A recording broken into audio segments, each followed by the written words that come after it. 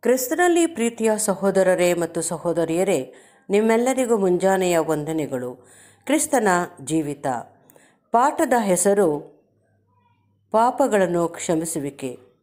ರೇಪ್ರಿನ್ ಪುಟ three seven to eight ಪುಟದ ಸಂಖ್ಯೆ ನೂರ ಐವತ್ತೆಂಟು ನೂರ ಐವತ್ತ ಒಂಬತ್ತು ಯೇಸುವಿನಲ್ಲಿ ದೊರಕುವ ಕ್ಷಮಾಪಣೆಯ ಪ್ರಮಾಣಗಳು. ಪರಲೋಕದ ತಂದೆಯು ತಾನೇ ವಿಧಿಸಿದ ತನ್ನ ಆಜ್ಞೆಗಳಿಗೆ ತನ್ನನ್ನು ಒಳಪಡಿಸಿಕೊಂಡವನಾಗಿದ್ದು, ಈಡು ಬೆಲೆಯನ್ನು ನೀಡದೆಯೇ ಪಾಪಗಳನ್ನು ಅಳಿಸಿ ಹಾಕಲು ಆತನಿಗೆ ಸಾಧ್ಯವಾಗದಿದ್ದಲ್ಲಿ ಏಸುವು ಇದನ್ನು ಮಾಡಿರಬಹುದಾದರೂ ಹೇಗೆ? ಈ ವಿಷಯದಲ್ಲಿ ಆತನಿಗೆ ತಂದೆಗಿಂತಲೂ ಹೆಚ್ಚಿನ ಅಧಿಕಾರವಿತ್ತು. ನಮ್ಮ ಉತ್ತರ ಇಲ್ಲ. ಈ ಪಾಠದಲ್ಲಿ ಪಾರ್ಶ್ವವಾಯು ರೋಗದ ಮನುಷ್ಯನಿಗೆ ಆತನು ಹೇಳಿದ ಮಾತುಗಳು ಮನುಷ್ಯನ ಪಾಪಗಳನ್ನು ಅಳಿಸಿ ಹಾಕುವುದರ ವಿಷಯಕ್ಕೆ ಅನ್ವಯಿಸುವುದಾಗಿರಲಿಲ್ಲ. ಆದರೆ ಅದು ಅಬ್ರಹಾಮ ಹಾಗೂ ಇತರ ಹಿಂದಿನವರಿಗೆ ಈಗಾಗಲೇ ತಂದೆಯು ನೀಡಿದಂಥ ಪಾಪಕ್ಷಮೆಗೆ ಹೋಲುವಂಥದ್ದಾಗಿತ್ತು. ನಿನ್ನ ಪಾಪಗಳು ನಿನಗೆ ಕ್ಷಮಿಸಲ್ಪಟ್ಟಿವೆ ಎಂದು ಈ ಮಾತುಗಳನ್ನು ಕರ್ತನು ಹೇಳಿದಾಗ ಆ ಮನುಷ್ಯನು ಆಗಲೂ ನಿಸ್ಸಹಾಯಕನಾಗಿ ಬಿದ್ದುಕೊಂಡಿದ್ದನು. ಆತನ ಪಾಪಗಳು ಕ್ಷಮಿಸಲ್ಪಟ್ಟಿದ್ದವಾದರೂ ಅವುಗಳು ಇನ್ನೂ ಅಳಿಸಿ ಹಾಕಲ್ಪಟ್ಟಿರಲಿಲ್ಲ. ಆಗಲೂ ಆತನು ಪಾಪದ ಘೋರ ಪರಿಣಾಮಗಳಿಗೆ ಒಂದು ಸಚಿತ್ರವಾದ ನಿದರ್ಶನವಾಗಿದ್ದನು.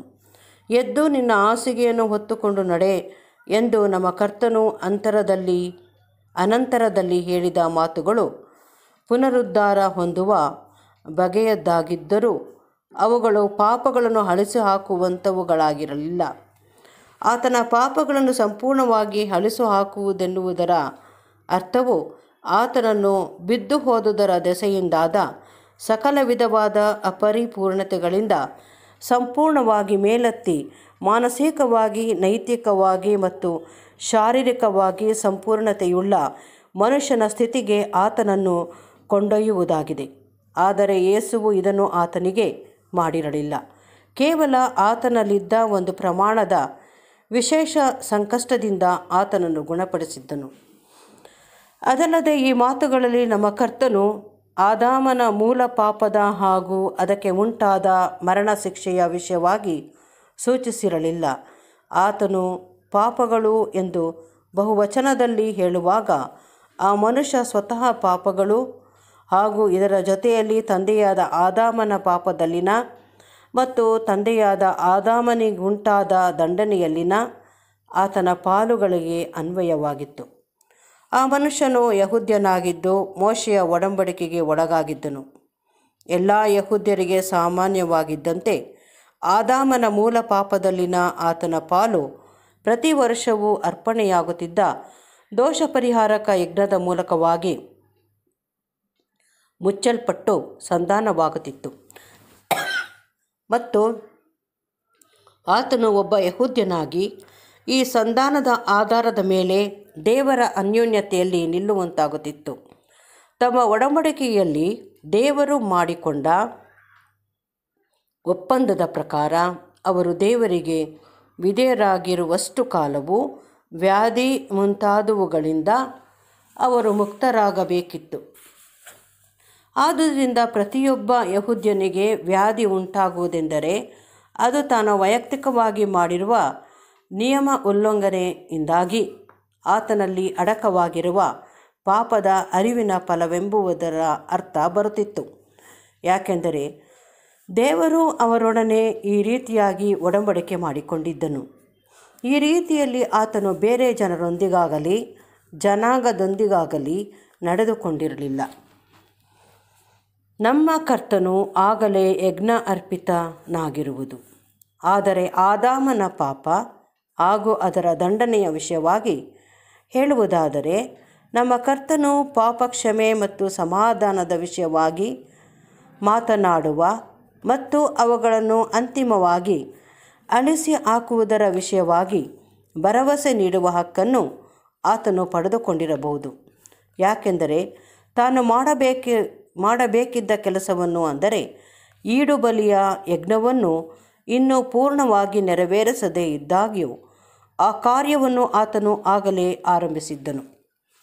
ದೀಕ್ಷಾ ಸ್ನಾನದಲ್ಲಿ ತನ್ನ ಜೀವವನ್ನು ಪ್ರತಿಷ್ಠೆ ಮಾಡಿಕೊಂಡು ಅದನ್ನು ತಂದೆಗೆ ಯಜ್ಞವನ್ನಾಗಿ ಅರ್ಪಿಸಿಕೊಳ್ಳುತ್ತಾ ಬಂದಿದ್ದನು ಮತ್ತು ತಂದೆಯು ಅದನ್ನು ಒಂದು ಪ್ರಮಾಣದಲ್ಲಿ ಅಂಗೀಕರಿಸಿ ನಮ್ಮ ಕರ್ತನಿಗೆ ಪ್ರಥಮ ಫಲವಾಗಿರುವ ಪವಿತ್ರಾತ್ಮ ದಾನವನ್ನು ನೀಡುವುದರ ಮೂಲಕ ಆ ಒಪ್ಪಂದಕ್ಕೆ ತನ್ನ ಅಂಗೀಕಾರವನ್ನು ಸೂಚಿಸಿದ್ದನು.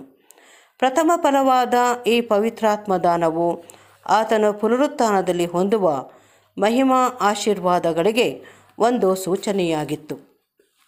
ತಾನು ಆಗಲೇ ತನ್ನನ್ನು ಯಜ್ಞ ಅರ್ಪಿತವಾಗಿ ಅರ್ಪಿಸಿಕೊಂಡು ಅದನ್ನು ಪೂರ್ಣವಾಗಿ ನೆರವೇರಿಸುವ ಉದ್ದೇಶ ಉಳ್ಳವನ್ನಾಗಿದ್ದುದರ ಫಲವಾಗಿ ಆತನು ತನ್ನನ್ನು ನಂಬಿದವರಿಗೆ ಹೀಗೆ ಅರ್ಹನಾಗಿ ಕೇಳುವ ಅಧಿಕಾರವನ್ನು ಹೊಂದಿದ್ದನು. ಆತನ ಮಗನನ್ನು ನಂಬುವವನಿಗೆ ನಿತ್ಯ ಜೀವ ಉಂಟು. ಮಗನಿಗೆ ಒಳಗಾದವನು ಜೀವವನ್ನು ಕಾಣುವುದೇ ಇಲ್ಲ. ತನ್ನ ಮಾಂಸವನ್ನು ತಿಂದು ತನ್ನ ರಕ್ತವನ್ನು ಕುಡಿಯುವವನು ನಿತ್ಯ ಜೀವವನ್ನು ಹೊಂದಿದ್ದಾನೆ. ಮತ್ತು ನಾನು ಅವನನ್ನು ಕಡೆಯ ದಿನದಲ್ಲಿ ಎಬ್ಬಿಸುವೆನು. ಅಂದರೆ ಯಾರು ನನ್ನನ್ನು ನಂಬುವವನಾಗಿ ನಿಜವಾಗಿ ನನ್ನ ನಂಬಿಗಸ್ತನಾದ ಹಿಂಬಾಲಕನಾಗುವನು. ಅವನು ಆಗಲೇ ನನ್ನಲ್ಲಿರುವ ನೂತನ ಜೀವದಲ್ಲಿ ತಾನು ಹುಟ್ಟಿದವನಾಗಿದ್ದೇನೆಂದು ತನ್ನನ್ನು ಎನಿಸಿಕೊಳ್ಳಬಹುದು.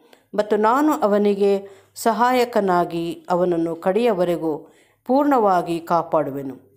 ಹೀಗೆ ಅವನು ಸಾವಿರ ವರ್ಷದ ಆಳ್ವಿಕೆಯ ಉದಯದಲ್ಲಿ ಮೊದಲನೆಯ ಪುನರುತ್ಥಾನದಲ್ಲಿ ಭಾಗಿಯಾಗಿ ನಿತ್ಯ ಜೀವವನ್ನು ಪಡೆದು ಪರಿಪೂರ್ಣವಾದ ಸ್ಥಿತಿಗೆ ತಲುಪುವನು. ಸಭೆಯ ವಿಷಯದಲ್ಲಿ ಈ ಸುವಾರ್ಥ ಯುಗದ ಪರ್ಯಂತರವಾಗಿ ನಂಬಿಕೆಯ ಮೂಲಕ ಕಾರ್ಯ ನಿರ್ವಹಿಸಲಾಗುವುದು. ನಾವು ನೋಡುವವರಾಗಿ ನಡೆಯದೆ, ನಂಬುವವರಾಗಿ ನಡೆಯುವವರಾಗಿದ್ದೇವೆ. ನಮ್ಮ ಪಾಪಗಳು ಕ್ಷಮಿಸಲ್ಪಟ್ಟಿವೆ ಎಂದು ಹಾಗೂ ಮೊದಲನೆಯ ಪುನರುತ್ಥಾನದಲ್ಲಿ ನಾವು ನಮ್ಮ ಒಡೆಯನ ಪ್ರಭಾವ, ಮಾನ ನಿರ್ಲಯತ್ವಗಳಲ್ಲಿ ಪಾಲನ್ನು ಹೊಂದುವೆವೆಂದು ನಂಬಿಕೆಯ ಮೂಲಕವಾಗಿ ಗ್ರಹಿಸುವವರಾಗಿದ್ದೇವೆ. ನಂಬಿಕೆಯ ಮೂಲಕವಾಗಿ ಪ್ರಭಾವದ ನಿರೀಕ್ಷೆಯನ್ನು ಪಡೆದು ವಿಶ್ರಾಂತಿ ಹೊಂದುವವರಾಗಿ ನಾವು ತೃಪ್ತರಾಗಿರುವೆವು. ಹೌದು, ನಿಜವಾಗಿಯೂ ನಾವು ಆತನ ಸ್ವರೂಪದಲ್ಲಿ ಎಚ್ಚೆತ್ತಾಗ ತೃಪ್ತರಾಗುವೆವು.